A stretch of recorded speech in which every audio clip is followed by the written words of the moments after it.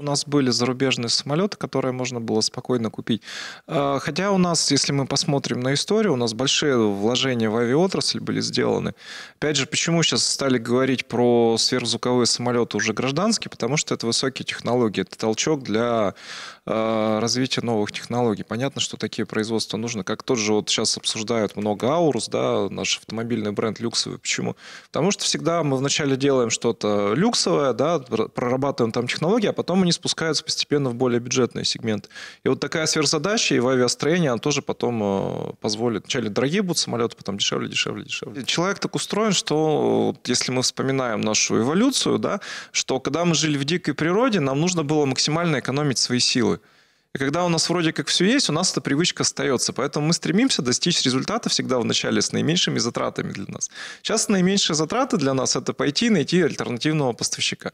Когда он не находится, мы тогда начинаем думать, что э, сами, да, либо получаем какой-то пинок там от правительства, что нужно все-таки этим заниматься, да, этим определенные задачи госкомпаниям ставятся.